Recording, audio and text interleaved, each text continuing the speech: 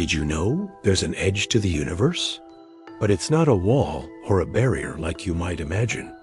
What we call the edge is actually the limit of the observable universe, a sphere about 93 billion light years across.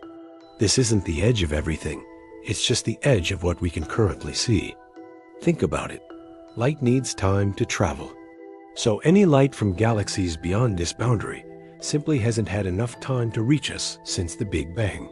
And here's the truly mind-bending part. As the universe expands, distant galaxies are moving away from us faster and faster. Some are already so far away that their light will never, ever reach Earth. This means there are galaxies, stars, and who knows what else out there that we will never be able to see. So, the edge of our view isn't an end. It's a cosmic horizon, and the universe just keeps going. Thanks for watching.